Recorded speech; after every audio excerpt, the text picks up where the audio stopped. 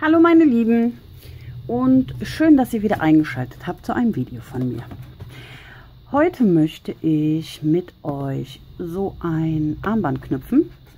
Das hier ist dieses Set von Action. Das habe ich da die Tage gekauft für 1,99, 99 Cent. Ich weiß es nicht mehr genau. Ich meine 1,99 genau. Und aus diesem Set kann man drei Armbänder, drei Armbänder, ne? drei Armbänder knüpfen. Eins habe ich schon soweit fertig. Jo, nicht schön, aber selten. Ja, und ähm, auch etwas groß, wie man sieht. Ne? Ja, aber es war der erste Versuch und dafür ist es ganz gut geworden. Und ja, als ich euch das dann in der Gruppe gezeigt habe, habt ihr mich gefragt, ob ich davon ein Video machen kann. Und das mache ich natürlich gerne. So, als erstes werde ich mal mit euch auspacken. Ich habe ja schon damit gearbeitet, aber ich zeige euch mal, was alles drin ist. Es gibt diese Sets in verschiedenen Farben. Es gibt rosa, blau, grau. Ich weiß nicht genau. Auf jeden Fall, es gibt äh, verschiedene Farben. So, dann haben wir oh, vier von diesen Bändern dabei in verschiedenen Farben. Dann haben wir einmal diese ähm, Schablone und dann haben wir Verschlüsse, also diese Endkappen und Karabiner. Ich habe aber einen anderen Karabiner dran gemacht, weil mir die einfach zu klein waren. Ja, und ähm, man nennt das Ganze auch Komohito, Komohino, Oh, ich habe es schon wieder vergessen. Ich werde es euch in die Überschrift schreiben, damit ihr da vielleicht mal googeln könnt. Und ja, da findet man nämlich so einiges zu. Und ja, ich würde sagen, wir fangen jetzt einfach mal an zu knüpfen. Und ich zeige euch im Laufe des Videos aber noch etwas Schönes. Und zwar, viele werden jetzt sagen, ähm, ich habe gar kein Eckchen, ich kann mir das nicht kaufen. Also es gibt diese Sets auch bei Amazon oder Ebay. Aber ich habe natürlich vorgesorgt. Und man kann diese Scheiben auch ganz einfach selber machen. Hier habe ich zum Beispiel Moosgummi. Äh, oben und unten, also äh, zweimal Moosgummi und in der Mitte ist Pappe, damit das einfach ein bisschen stabiler ist.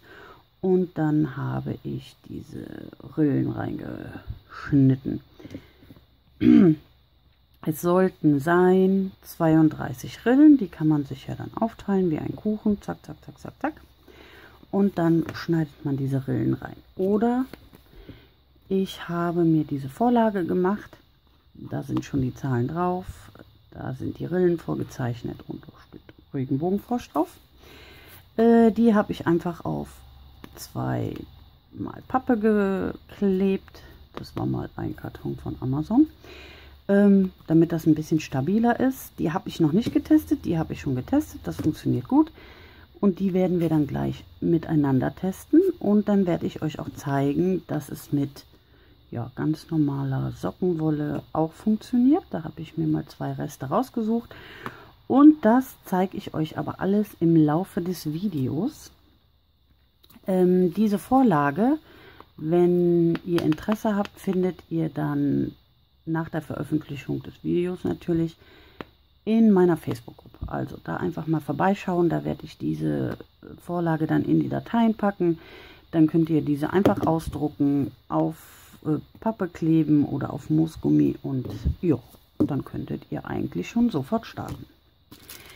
So, das Einzige, was ihr dann braucht, sind halt Endkappen oder ihr knotet die Armbänder einfach am Ende zusammen. Das funktioniert natürlich auch. So, ich zeige euch jetzt aber erst einfach mal, ähm, ja, wie es in der Anleitung angegeben ist. Und zwar brauchen wir dazu erstmal Bänder. Und zwar schneiden wir uns erstmal ähm, ja, das klebt jetzt hier natürlich alles. Also ihr, ihr schneidet euch von jedem, von jeder Farbe zwei Meter Band ab. Ich messe mir das. Na, ist es denn? Ich messe mir das mal eben hier an meinem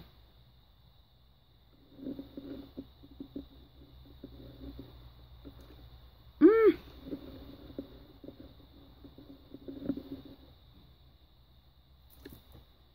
Also, ihr schneidet von jedem 2 Meter Band ab und dann geht weiter. So, also Bänder sind zugeschnitten. In der Anleitung ist das ein bisschen kompliziert. Da steht, schneide von jeder Farbe 2 Meter ab und teile die in zwei gleiche Längen. Also brauchen wir von jedem, von jeder Farbe praktisch ähm, zwei, zwei Fäden in 1 Meter Länge. Also wir schneiden von jeder Farbe zwei ah, Fäden ab in der Länge von einem Meter und legen diese dann zusammen. Erstmal einfach nur so zusammen.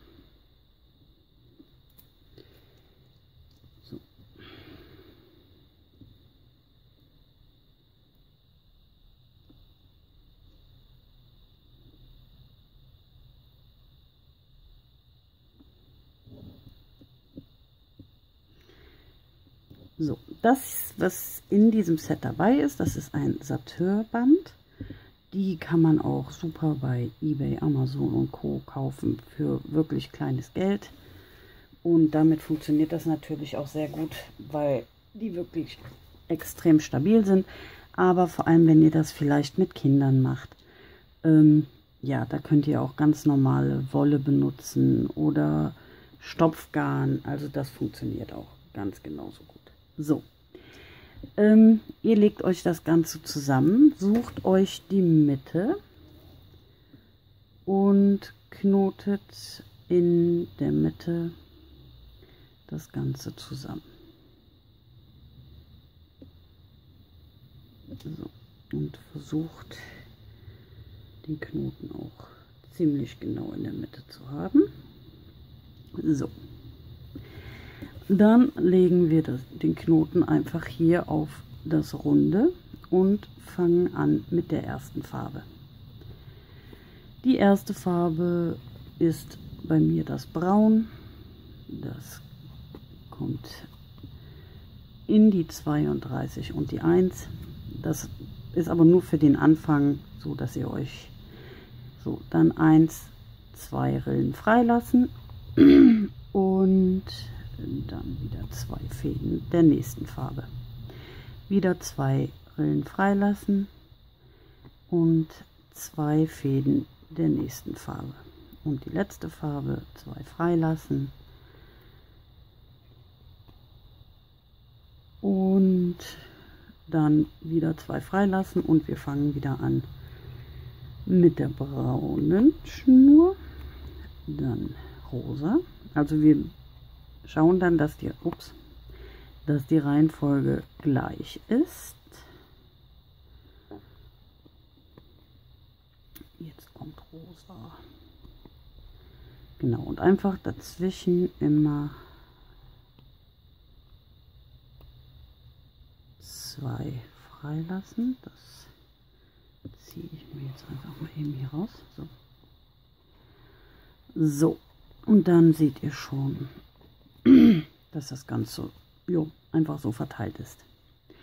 So, ich arbeite jetzt so, wie es in der Anleitung da angegeben ist. Es gibt noch ganz, ganz viele äh, bei Pinterest zum Beispiel und auch hier bei ähm, YouTube findet ihr noch ganz, ganz viele Anleitungen dazu äh, für die unterschiedlichsten Formen und ja, aber ich arbeite jetzt halt so, wie es hier in der Anleitung gezeigt wird. So, und zwar nehmen wir hier den rechten Faden und packen ihn einmal hier runter. Also den rechten Faden hier unten neben die beiden der gleichen Farbe. Und dann den nächsten auch rechten Faden und einfach diagonal runter. Jetzt seht ihr hier sind die Fäden ein bisschen überkreuzt. Da tausche ich die mal eben. So. Und auch hier einfach diagonal runter. Und auch hier tausche ich nur mal kurz eben die Fäden. So. So, dann schaut das Ganze so aus. Dann habt ihr hier unten immer drei Fäden. Und jetzt, so ihr dreht ja die Scheibe, also ihr habt diesen dahin.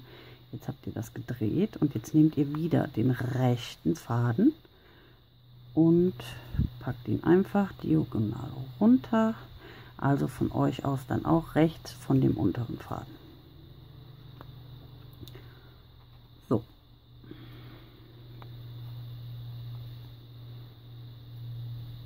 Und das machen wir eigentlich jetzt die ganze Zeit. Immer wieder von oben nach unten den Faden legen dabei die Scheibe drehen und wieder von vorne anfangen. Und wieder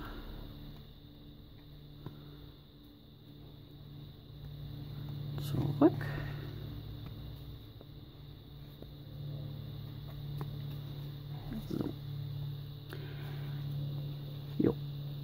Und ähm, das macht ihr jetzt wirklich so lange,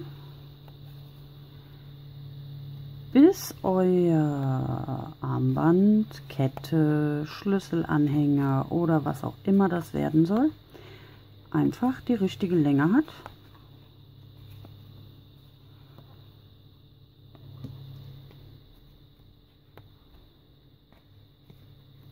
So, ihr seht dann hier unten kommt es dann raus.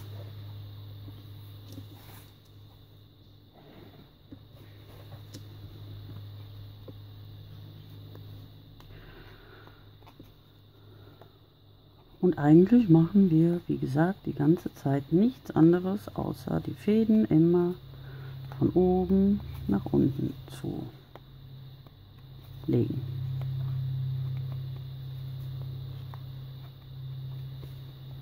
So.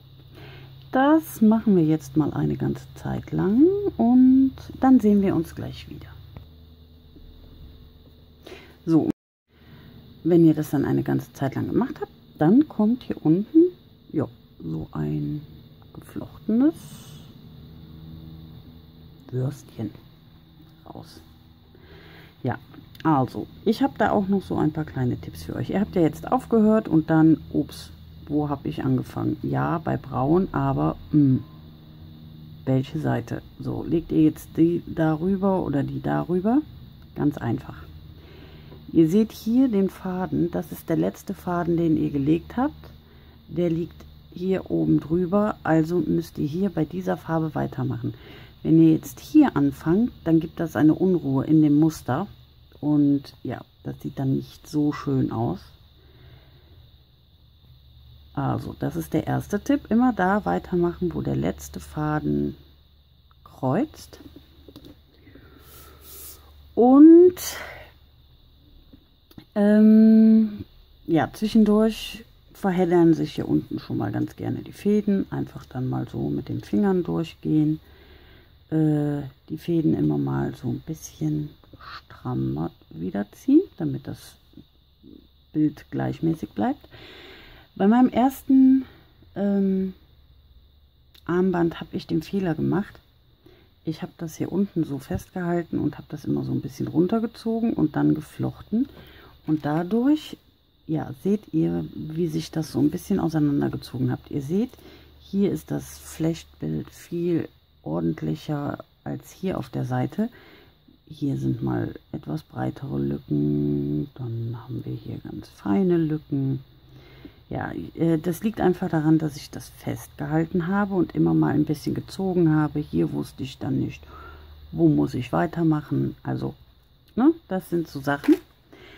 Ich halte es einfach ganz locker in der Hand, den Finger, die Finger zwischen den Fäden und lege einfach den Daumen hier oben auf den Knoten.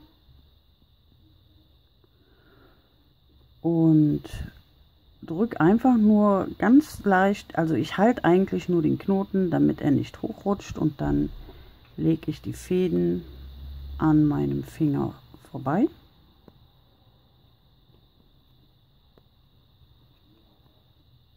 So, einfach nur, wie gesagt, den Finger drauf, damit jetzt der Knoten nicht hochrutschen kann. Und dann einfach weiterlegen. So. Und dann seht ihr hier unten, die Fäden verheddern sich schon mal so ein bisschen einfach wieder auseinander machen.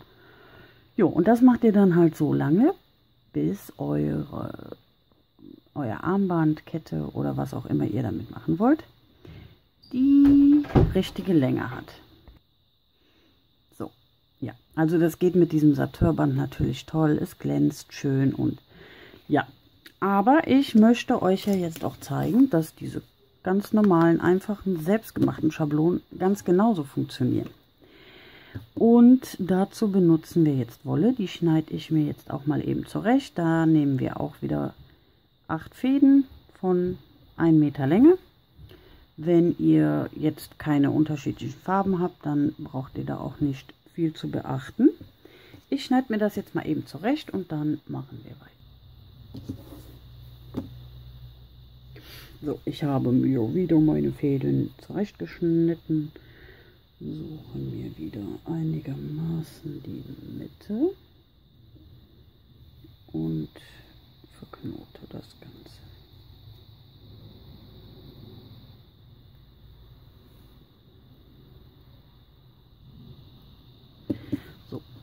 Dann legen wir uns das wieder hier drauf und schauen einfach, dass wir so ein bisschen die Farben vielleicht sortieren. So, die ersten beiden hier rein. Und auch hier lassen wir jetzt wieder ganz normal dann zwei frei. Eins, zwei und da schieben wir dann, verlegen wir dann die nächsten Fäden ein, wenn Sie denn wollen.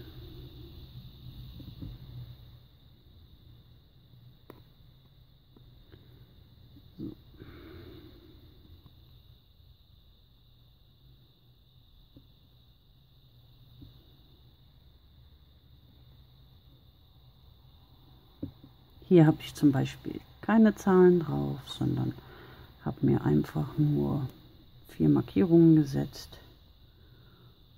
Und jo, es funktioniert trotzdem ganz gut. So, und hier fangen wir dann wieder mit der Farbe an, die wir als erstes gelegt haben. Und wie gesagt, versuchen halt so ein bisschen uns die Farben zu sortieren.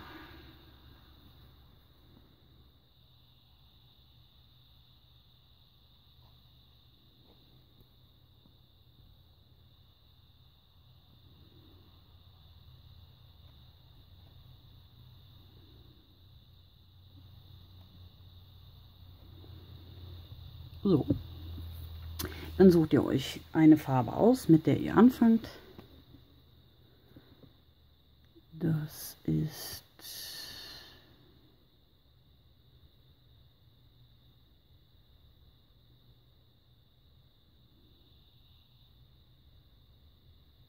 ja.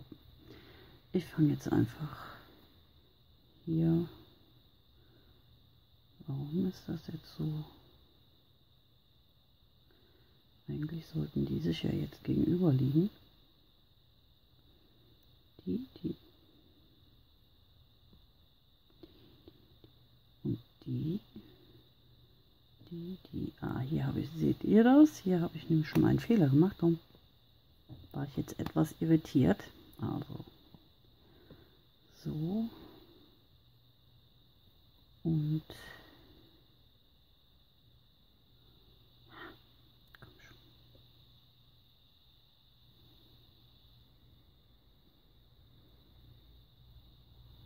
So, und jetzt seht ihr auch, dass sie sich über, äh, gegenüber liegen. Ich fange jetzt einfach hier mit dem an, wo der pinke Faden drin ist. Und mache das gleiche wie vorhin auch. Ich lege den Faden einfach gegenüber.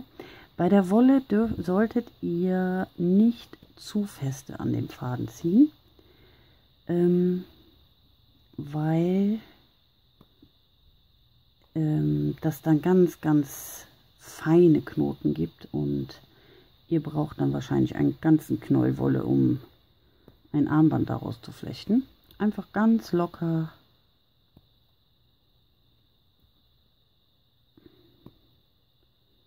die Fäden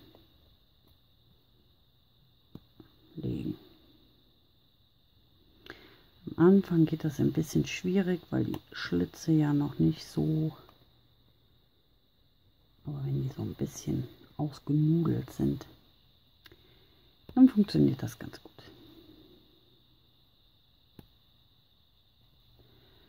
So, und das machen wir dann jetzt auch eine ganze Zeit lang, genau wie bei dem ersten.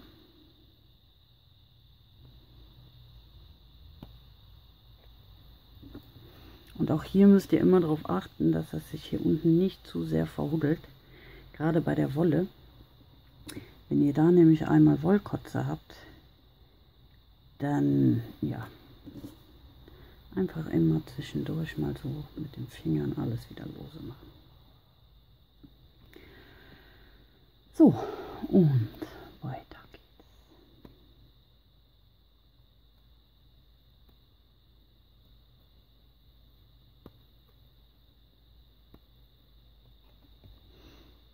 So. Und das machen wir jetzt auch erstmal eine ganze Zeit lang und dann zeige ich euch, wie das mit der Wolle aussieht. So, und auch hier seht ihr, wenn ihr das eine ganze Zeit lang gemacht habt, kommt auch hier unten so ein Bürstchen raus.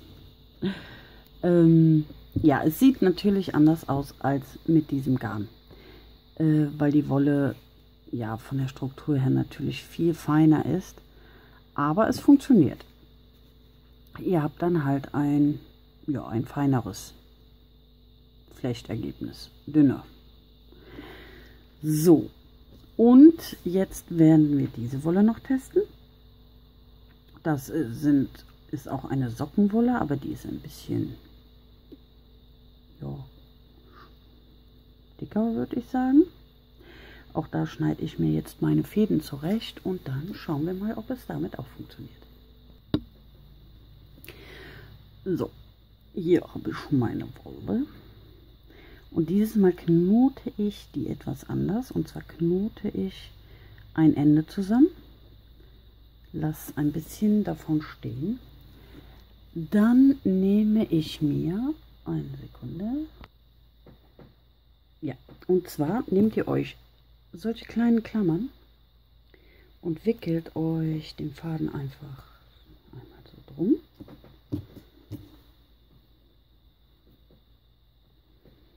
Ich weiß nämlich, dass diese Wolle sehr dazu neigt zu verknoten und dann bekommt man die nicht mehr auseinander. Ich habe da mal mit Socken gestrickt und es war nicht schön. So, also wickelt das einfach so drum und klemmt den Faden dann hier vorne ein und dann habt ihr das zum Zum so, und dann teilen wir das wieder. So wie immer. Zack, zack, zack.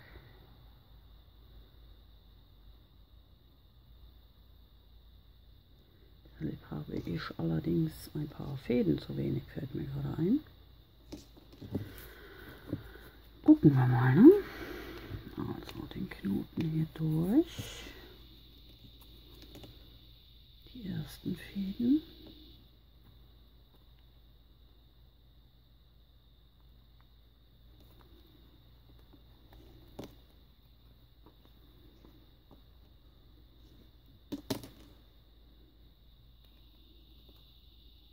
Weil wir hatten ja vorher 16 und jetzt habe ich ja nur 8. Aber wir schauen mal. Also, wir verteilen das jetzt einfach mal gleichmäßig. Das wird jetzt eine Premiere.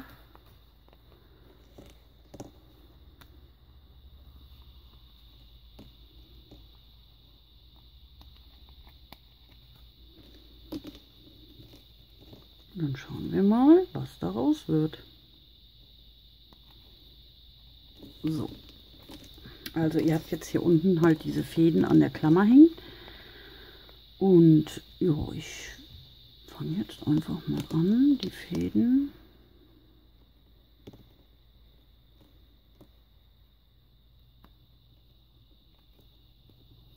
einfach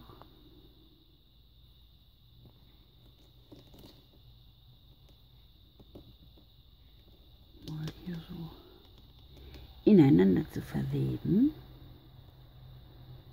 Ja, mit den Klammern funktioniert nicht so dolle.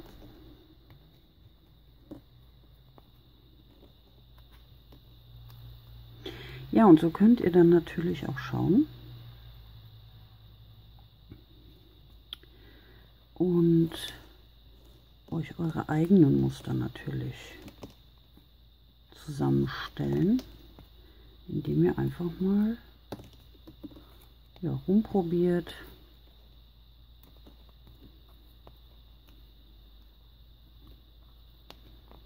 was passiert, wenn ich die Fäden so lege und was passiert, wenn ich die Fäden so lege.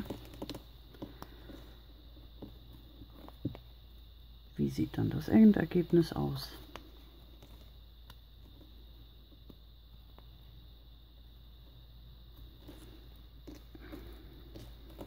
Und so entstehen dann natürlich eure ganz eigenen Kreationen.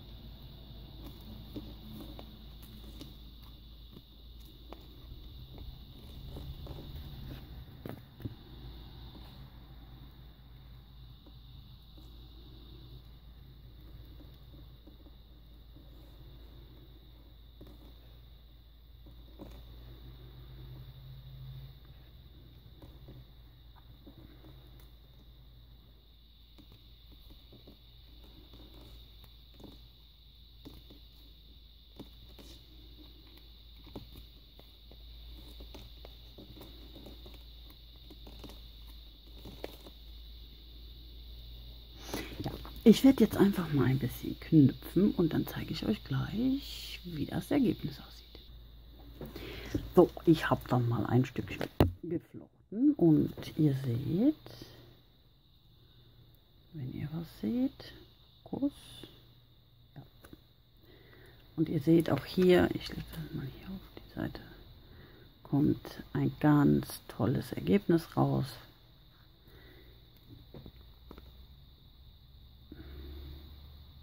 Es ist auch rund, es ist halt noch etwas dünner als dieses Armband.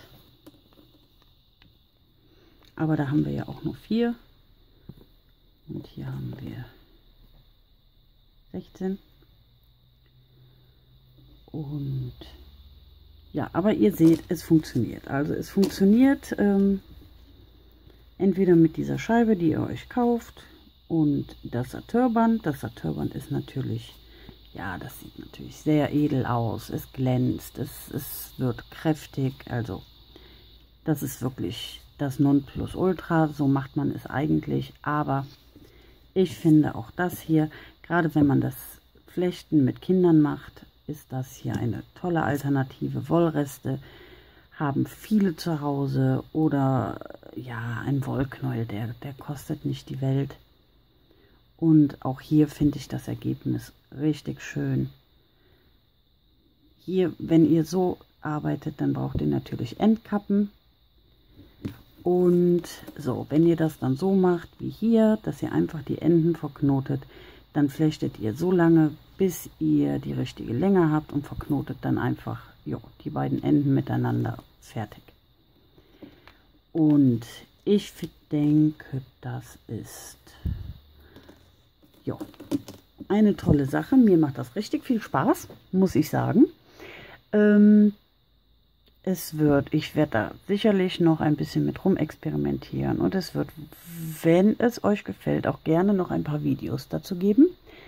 Ähm, nach und nach, zwischendurch wird dann sicherlich auch mal wieder ein Korb geflochten und auch natürlich mit Papier gearbeitet. Ich habe schon wieder ein bisschen was vorbereitet. Ähm, ja, also wie gesagt, wenn euch das gefällt, schreibt mir das in die Kommentare, wenn ihr noch weitere Videos dazu sehen wollt, vielleicht andere Anleitungen. Immer raus damit, dann schaue ich, was ich euch noch Schönes zaubern kann. Und ansonsten verabschiede ich mich jetzt erstmal. Ich hoffe, ihr habt alles verstanden, was ich euch hier so gezeigt habe. Ich hoffe natürlich auch, es hat euch gefallen. Und ja, damit verabschiede ich mich erstmal und sage Tschüss, bis zum nächsten Mal. Bye, bye.